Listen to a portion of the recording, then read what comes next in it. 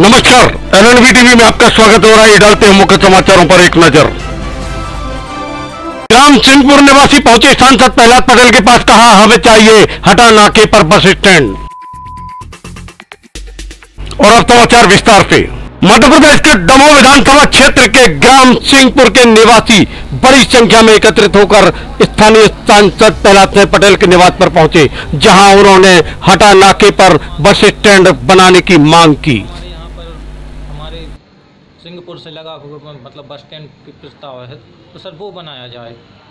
अच्छा bus stand का प्रस्तावित वो आपके क्षेत्र के पास में ही है? हाँ सर हमारे क्षेत्र के पास में ही। अगर बस स्टैंड बन जाता है हाँ। तो आप लोगों को क्या लाभ होगा? सर हम लोग मतलब गाँव के जितने लोग हैं सब बेरोजगार हैं सर उनके लिए कोई मतलब पढ़े लिखे उतने ज़्यादा है नहीं है।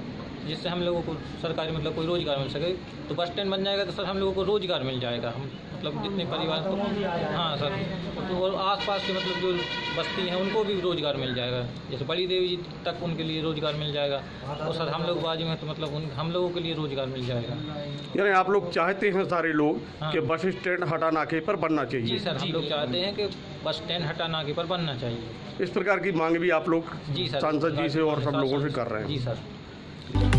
दमोह संसदीय क्षेत्र के सांसद प्रहलाद सिंह पटेल के निवास पर दमोह विधानसभा क्षेत्र के अंतर्गत आने वाले ग्राम सिंहपुर के सैकड़ों निवासी वहाँ पहुँचे और उन्होंने एक ही मांग की कि हटा नाके पर बस स्टैंड का निर्माण कराया जाए।